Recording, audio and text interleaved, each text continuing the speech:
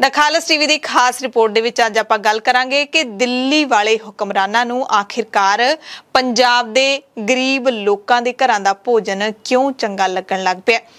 ਭਾਜਪਾ ਪੰਜਾਬ ਨੂੰ ਕਿਉਂ ਪਲੋਸਣ ਲੱਗੀ ਹੈ? ਇਸ ਗੱਲ ਤੇ ਅੱਜ ਆਪਾਂ ਚਰਚਾ ਕਰਾਂਗੇ। ਸਭ ਤੋਂ ਪਹਿਲੀ ਗੱਲ ਤਾਂ ਇਹ ਹੈ ਕਿ ਸੂਤਰ ਦੱਸਦੇ ਨੇ ਕਿ ਭਾਰਤ ਦੇ ਪ੍ਰਧਾਨ ਮੰਤਰੀ ਨਰਿੰਦਰ ਮੋਦੀ ਅਗਲੇ ਮਹੀਨੇ, ਜਿਹੜਾ ਪਰਸੋਂ ਨੂੰ ਚੜਨ ਜਾ ਰਿਹਾ, ਉਸ ਮਹੀਨੇ ਮੁੜ ਪੰਜਾਬ ਦੇ ਦੌਰੇ ਤੇ ਆਉਣਗੇ। ਉਹਨਾਂ ਨੇ ਫਿਰੋਜ਼ਪੁਰ ਤੇ ਬਠਿੰਡਾ ਫੇਰੀ ਦੀ ਗੱਲ ਆਪਣੀ ਪਿਛਲੀ ਫੇਰੀ ਦੇ ਵਿੱਚ ਕਰ ਵੀ ਦਿੱਤੀ ਸੀ। ਪ੍ਰਧਾਨ ਮੰਤਰੀ ਇਸ ਗੱਲ ਤੋਂ ਚੰਗੀ ਤਰ੍ਹਾਂ ਜਾਣੂ ਨੇ ਕਿ ਪੰਜਾਬ ਅਤੇ ਖਾਸ ਕਰਕੇ ਸਿੱਖ ਭਾਈਚਾਰੇ ਦੀ ਨਾਰਾਜ਼ਗੀ ਹਾਲੇ ਦੂਰ ਨਹੀਂ ਹੋਈ। ਤੇ ਪੰਜਾਬ ਤੇ ਸਿੱਖਾਂ ਦੀ ਨਾਰਾਜ਼ਗੀ ਬੀਜੇਪੀ ਨੂੰ ਮਹਿੰਗੀ ਪੈ ਸਕਦੀ ਹੈ ਤੇ ਬੀਜੇਪੀ ਪੰਜਾਬ ਨੂੰ ਹੁਣ ਸਿਆਸੀ ਹਿੱਤਾਂ ਖਾਤਰ ਕਲਾਵੇ ਦੇ ਵਿੱਚ ਲੈਣਾ ਚਾਹੁੰਦੀ ਹੈ। ਤੇ ਮਾਹੌਲ ਦੇਖ ਕੇ ਸਹਿਜੇ ਹੀ ਅੰਦਾਜ਼ਾ ਲੱਗ ਜਾਂਦਾ ਹੈ ਕਿ ਬੀਜੇਪੀ ਦੀ ਕੇਂਦਰੀ ਲੀਡਰਸ਼ਿਪ ਹੁਣ ਪੰਜਾਬ ਨੂੰ ਪਲੋਸਣ ਦੇ ਰਾਹ ਤੁਰ ਪਈ ਹੈ। ਅਤੇ ਮਿਸ਼ਨ ਪੰਜਾਬ ਤਹਿਤ ਬੀਜੇਪੀ ਦਾ ਸਿੱਖ ਭਾਈਚਾਰੇ ਦੇ ਨਾਲ ਨੇੜਤਾ ਬਣਾਉਣ ਦਾ ਪੂਰਾ ਏਜੰਡਾ ਹੈ, ਜਿਸ ਦੀ ਸ਼ੁਰੂਆਤ ਮਨਜਿੰਦਰ ਸਿੰਘ ਸਿਰਸਾ ਦੀ ਬੀਜੇਪੀ ਦੇ ਨਾਲ ਭਾਈਵਾਲੀ ਤੋਂ ਆਪਾਂ ਮੰਨ ਸਕਦੇ ਹਾਂ।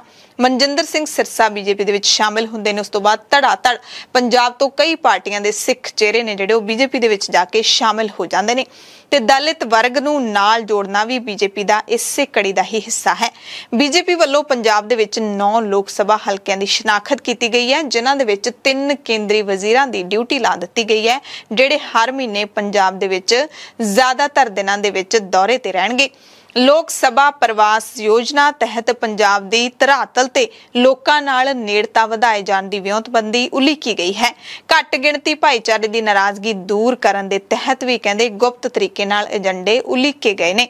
ਇਹ ਸਾਰੀ ਸੂਤਰਾਂ ਦੇ ਮੁਤਾਬਿਕ ਮਿਲੀ ਸਾਡੀ ਜਾਣਕਾਰੀ ਹੈ।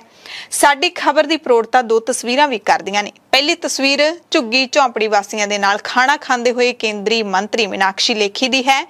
ਦੂਸਰੀ ਤਸਵੀਰ, ਸਾਹਿਬਜ਼ਾਦਾ ਅਜੀਤ ਸਿੰਘ ਨਗਰ ਮੋਹਾਲੀ ਦੇ ਇਤਿਹਾਸਿਕ ਗੁਰੂ ਘਰ ਵਿਖੇ ਮੱਥਾ ਟੇਕਣ ਪਹੁੰਚੇ ਜਲ ਸ਼ਕਤੀ ਮੰਤਰੀ ਗਜੇਂਦਰ ਸਿੰਘ ਸ਼ਿਖਾਵਤ ਦੀ ਹੈ, ਜਿਹੜੇ ਕਿ ਕੇਂਦਰ ਸਰਕਾਰ ਦੇ ਮੰਤਰੀ ਨੇ। ਤੇ ਇਹ ਦੋਵੇਂ ਤਾਜ਼ਾ ਤਸਵੀਰਾਂ ਨੇ, ਕਿਉਂਕਿ ਕੇਂਦਰੀ ਮੰਤਰੀ ਮੀਨਾਕਸ਼ੀ ਲੇਖੀ ਐਨੀ ਦਿਨੀ ਗੁਰਦਾਸਪੁਰ ਹਲਕੇ ਦੇ ਦੌਰੇ ਤੇ ਨੇ, ਜਦਕਿ ਪੰਜਾਬ ਬੀਜੇਪੀ ਦੇ ਇੰਚਾਰਜ ਅਤੇ ਕੇਂਦਰੀ ਮੰਤਰੀ ਗੁਜੇਂਦਰ ਸ਼ਿਖਾਵਤ 30 ਅਤੇ 31 ਅਗਸਤ ਨੂੰ ਸ਼੍ਰੀ ਅਨੰਦਪੁਰ ਸਾਹਿਬ ਲੋਕ ਸਭਾ ਹਲਕੇ ਦੇ ਦੌਰੇ ਤੇ ਚੱਲ ਰਹੇ ਨੇ। ਗੁਰਦਾਸਪੁਰ ਜ਼ਿਲ੍ਹੇ ਦੇ ਦੌਰੇ ਤੇ ਪਹੁੰਚੀ ਕੇਂਦਰੀ ਰਾਜ ਮੰਤਰੀ ਮੀਨਾਕਸ਼ੀ ਲੇਖੀ ਨੇ ਇੱਕ ਦਿਨ ਪਹਿਲਾਂ ਸ਼ਹਿਰ ਦੇ ਪੰਚਾਇਤ ਭਵਨ ਦੇ ਵਿੱਚ ਕੇਂਦਰ ਸਰਕਾਰ ਵੱਲੋਂ ਚਲਾਈਆਂ ਜਾ ਰਹੀਆਂ ਲੋਕ ਭਲਾਈ ਯੋਜਨਾਵਾਂ ਦੇ ਜਾਇਜ਼ੇ ਦੇ ਲਈ ਜ਼ਿਲ੍ਹੇ ਦੇ ਸਾਰੇ ਅਧਿਕਾਰੀਆਂ ਦੇ ਨਾਲ ਮੀਟਿੰਗ ਕੀਤੀ। ਸਰਕਾਰ ਦੀ ਹਰ ਨੀਤੀ ਨੂੰ ਯੋਗ ਤੇ ਲੋੜਵੰਦ ਵਿਅਕਤੀਆਂ ਤੱਕ ਬਿਨਾਂ ਕਿਸੇ ਭੇਦਭਾਵ ਦੇ ਪਹੁੰਚਾਉਣ ਦੀ ਅਧਿਕਾਰੀਆਂ ਨੂੰ ਹਦਾਇਤ ਵੀ ਕੀਤੀ। ਬੇਕਰੇ ਲੋਕਾਂ ਨੂੰ ਪ੍ਰਧਾਨ ਮੰਤਰੀ ਆਵਾਸ ਯੋਜਨਾ ਦੇ ਤਹਿਤ ਮਕਾਨ ਬਣਾ ਕੇ ਦਿੱਤੇ ਜਾਣ ਦਾ ਹੁਕਮ ਵੀ ਚਾੜ ਦਿੱਤਾ ਤੇ ਹੋਰ ਵੀ ਬਹੁਤ ਕੁਝ। ਸਿਰਫ ਜ਼ੁਬਾਨੀ ਬੋਲ ਕੇ ਕਿਹਾ ਮੌਕੇ ਤੇ ਕੋਈ ਹੱਲ ਹੈ ਜਿਹੜਾ ਉਹ ਨਹੀਂ ਹੁੰਦਾ ਦੇਖਿਆ। ਸੋਮਵਾਰ ਨੂੰ ਕੇਂਦਰੀ ਰਾਜ ਮੰਤਰੀ ਤੇ ਬੀਜੇਪੀ ਲੀਡਰ ਮੀਨਾਕਸ਼ੀ ਲੇਖੀ ਧਾਰੀਵਾਲ ਪਹੁੰਚੇ। ਇੱਥੇ ਪਹੁੰਚ ਕੇ ਸ਼ਹਿਰ ਦੇ ਵਿੱਚ ਲੰਘਦੀ ਅੱਪਰ ਬਾਰੀ ਨਹਿਰ ਦੇ ਕਿਨਾਰੇ ਝੁੱਗੀ ਝੌਂਪੜੀ ਰਾਜੀਵ ਕਲੋਨੀ ਵਾਸੀਆਂ ਵੱਲੋਂ ਤਿਆਰ ਕੀਤਾ ਖਾਣਾ ਖਾਦਾ ਉਹਨਾਂ ਦੀਆਂ ਮੁਸ਼ਕਲਾਂ ਵੀ ਸੁਣੀਆਂ। ਇਹਨਾਂ ਲੋਕਾਂ ਨੇ ਵੀ ਪ੍ਰਧਾਨ ਮੰਤਰੀ ਆਵਾਸ ਯੋਜਨਾ ਤਹਿਤ ਮੰਤਰੀ ਨੂੰ ਬਣਦੀਆਂ ਸਹੂਲਤਾਂ ਦੇਣ ਤੇ ਬਿਜਲੀ ਬਿੱਲ ਮਾਫ ਕਰਨ ਦੀ ਮੰਗ ਕੀਤੀ। ਮੀਨਾਕਸ਼ੀ ਲੇਖੀ ਨੇ ਮੰਗਾਂ ਦੇ ਜਲਦ ਹੱਲ ਦਾ ਭਰੋਸਾ ਦਿੱਤਾ, ਜਿਵੇਂ ਕਿ ਹਰ ਕੋਈ ਸਿਆਸਤਦਾਨ ਦਿੰਦਾ ਹੀ ਹੁੰਦਾ ਇਸ ਮੌਕੇ ਮਜ਼ਦੂਰਾਂ ਨੇ ਤਨਖਾਹ ਨਾ ਮਿਲਣ ਦਾ ਰੋਣਾ ਵੀ ਰੋਇਆ, ਪਰ ਸਿਰਫ ਤੇ ਸਿਰਫ ਦਿਲਾਸੇ ਤੇ ਤਰਵਾਸ ਹੀ ਮਿਲੇ। ਅੱਜ ਸਾਹਿਬਜ਼ਾਦਾ ਅਜੀਤ ਸਿੰਘ ਨਗਰ ਮੋਹਾਲੀ ਪਹੁੰਚੇ ਜਲ ਸ਼ਕਤੀ ਮੰਤਰੀ ਗਜੇਂਦਰ ਸਿੰਘ ਸ਼ਿਕਾਵਤ ਨੇ ਪੰਜਾਬ ਦੀ ਆਪਣੀ ਲੀਡਰਸ਼ਿਪ ਦੇ ਵਿੱਚ ਨਵੀਂ ਤਾਕਤ ਭਰਨ ਅਤੇ ਵਿਰੋਧੀਆਂ ਨੂੰ ਪੱਟਣ ਦੇ ਮਕਸਦ ਦੇ ਨਾਲ ਵੱਡਾ ਲਾਲਚ ਦਿੰਦਿਆਂ ਕਿਹਾ ਕਿ ਬੀਜੇਪੀ ਦੇ ਵਿੱਚ ਧੜਾਧੜ ਸ਼ਾਮਿਲ ਹੋ ਰਹੇ ਵੱਖੋ ਵੱਖ ਸਿਆਸੀ ਪਾਰਟੀਆਂ ਦੇ ਆਗੂਆਂ ਨੂੰ 2024 ਦੀਆਂ ਲੋਕ ਸਭਾ ਚੋਣਾਂ ਦੇ ਵਿੱਚ ਵਧੀਆ ਮੌਕੇ ਮਿਲ ਸਕਦੇ ਨੇ। ਸ਼ਿਖਾਵਤ ਨੇ ਇਹਨਾਂ ਲੀਡਰਾਂ ਨੂੰ ਵੀ ਹੁਣ ਬੀਜੇਪੀ ਦਾ ਹੀ ਹਿੱਸਾ ਦੱਸਿਆ।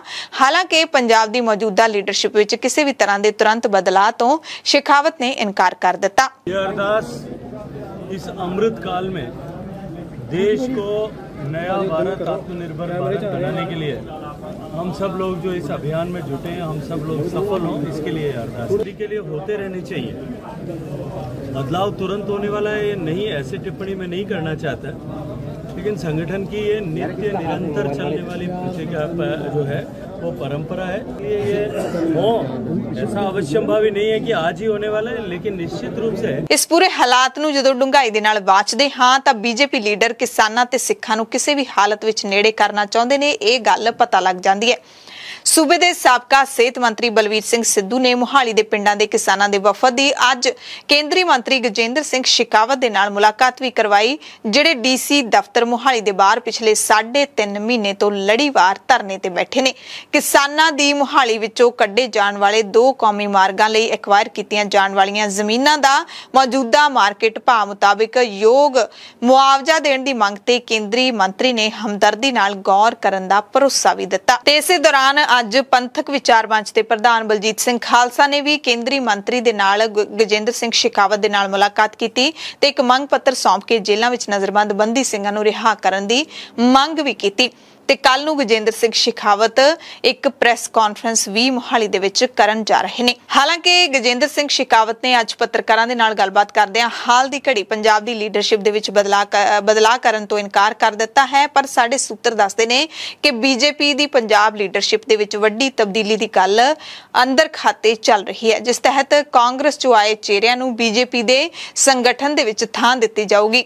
ਵੱਡਾ ਚਿਹਰਾ ਸੁਨੀਲ ਜਾਖੜ ਨੇ, ਜਿਨ੍ਹਾਂ ਨੂੰ ਪ੍ਰਧਾਨ ਮੰਤਰੀ ਨਰਿੰਦਰ ਮੋਦੀ ਅਤੇ ਗ੍ਰਹਿ ਮੰਤਰੀ ਅਮਿਤ ਸ਼ਾਹ ਵੀ ਸਿਆਸੀ ਵਜ਼ਨ ਦਿੰਦੇ ਨੇ। ਉਹਨਾਂ ਨੂੰ ਪ੍ਰਧਾਨ ਬਣਾਏ ਜਾਣ ਦੇ ਚਰਚੇ ਵੀ ਨੇ, ਕਿਉਂਕਿ ਬੀਜੇਪੀ ਹਾਈ ਕਮਾਂਡ ਜਾਖੜ ਨੂੰ ਇੱਕ ਜਾਟ ਲੀਡਰ ਵਜੋਂ ਵੀ ਦੇਖਦੀ ਹੈ। ਪਿਛਲੇ ਦਿਨੀ ਪੰਜਾਬ ਦੌਰੇ ਤੇ ਆਏ ਪ੍ਰਧਾਨ ਮੰਤਰੀ ਬੀਜੇਪੀ ਲੀਡਰਾਂ ਦੇ ਨਾਲ ਗੱਲਬਾਤ ਦੌਰਾਨ ਇਸ ਗੱਲ ਦਾ ਵੀ ਕ੍ਰੈਡਿਟ ਲੈਣਾ ਚਾਹੁੰਦੇ ਸੀ ਕਿ ਚਾਰ ਸਾਹਿਬਜ਼ਾਦਿਆਂ ਦੀ ਸ਼ਹਾਦਤ ਨੂੰ ਸਮਰਪਿਤ 26 ਦਸੰਬਰ ਨੂੰ ਵੀਰ ਬਾਲ ਦਿਵਸ ਮਨਾਏ ਜਾਣ ਦਾ ਅਸੀਂ ਐਲਾਨ ਕੀਤਾ ਹੈ ਤੇ ਇਸ ਐਲਾਨ ਦੇ ਨਾਲ ਦੱਖਣ ਦੇ ਵਿੱਚ ਵੀ ਇਸ ਸ਼ਹਾਦਤ ਬਾਰੇ ਡੂੰਘਾਈ ਦੇ ਨਾਲ ਲੋਕ ਜਾਣਨ ਲੱਗੇ ਨੇ। ਪਰ ਇੱਕ ਕੌੜਾ ਸੱਚ ਵੀ ਬੀਜੇਪੀ ਨੂੰ ਸਮਝ ਲੈਣਾ ਚਾਹੀਦਾ ਹੈ ਕਿ ਪਿੰਡੂ ਪੰਜਾਬ ਦੇ ਮਨਾਂ ਦੇ ਵਿੱਚ ਪਈ ਦਰਾੜ ਭਰਨੀ ਬੀਜੇਪੀ ਦੇ ਲਈ ਕੋਈ ਸੌਖੀ ਗੱਲ ਨਹੀਂ ਹੈ, ਖਾਲਾ ਜੀ ਦਾ ਵਾੜਾ ਨਹੀਂ ਹੈ। ਤਿੰਨ ਖੇਤੀ ਕਾਨੂੰਨਾਂ ਦੇ ਖਿਲਾਫ ਚੱਲੇ ਸੰਘਰਸ਼ ਦੇ ਵਿੱਚ ਵੱਧ ਸ਼ਹਾਦਤਾਂ ਪੰਜਾਬ ਦੇ ਕਿਸਾਨਾਂ ਤੇ ਮਜ਼ਦੂਰਾਂ ਨੇ ਦਿੱਤੀਆਂ। ਸਾਰੀਆਂ ਕੋਸ਼ਿਸ਼ਾਂ ਦੇ ਬਾਵਜੂਦ ਬੀਜੇਪੀ ਦੀ ਵੀ ਇਹ ਸਮਝ ਪੱਕੀ ਹੋਈ ਹੈ ਕਿ ਪੰਜਾਬ ਨੂੰ ਅਸੈਂਬਲੀ ਚੋਣਾਂ ਦੇ ਵਿੱਚ ਜਿੱਤਣਾ ਕੱਲੇ ਤੌਰ ਤੇ ਸੌਖਾ ਨਹੀਂ ਹੈ। ਇਸੇ ਕਰਕੇ ਬੀਜੇਪੀ ਪੰਜਾਬ ਦੇ ਵਿੱਚ ਪਿਛੜੀਆਂ ਜਾਤੀਆਂ ਦੇ ਨਾਲ ਵੀ ਮੋਹ ਦਿਖਾਉਣ ਲੱਗੀ ਹੈ। ਕੇਂਦਰੀ ਸਿਹਤ ਮੰਤਰੀ ਮਨਸੁਖ ਮਾਂਡਵੀਆ ਨੇ ਸੰਗਰੂਰ ਲੋਕ ਸਭਾ ਹਲਕੇ ਦੇ ਦੌਰੇ ਦੌਰਾਨ ਧੂਰੀ ਦੇ ਨੇੜਲੇ ਫਤਿਹਗੜ੍ਹ ਪਿੰਡ ਦੇ ਪ੍ਰਗਟ ਸਿੰਘ ਦੇ ਦਲਿਤ ਪਰਿਵਾਰ ਦੇ ਘਰੇ ਦੁਪਹਿਰ ਦਾ ਭੋਜਨ ਕੀਤਾ। ਇਸੇ ਤਰ੍ਹਾਂ ਕੇਂਦਰੀ ਮੰਤਰੀ ਹਰਦੀਪ ਸਿੰਘ ਪੁਰੀ ਨੇ ਬਠਿੰਡਾ ਲੋਕ ਸਭਾ ਹਲਕੇ ਦੇ ਦੌਰੇ ਦੌਰਾਨ ਦਲਿਤਾਂ ਦੀ ਬਸਤੀ ਦੇ ਵਿੱਚ ਖਾਣਾ ਖਾਦਾ ਸੀ।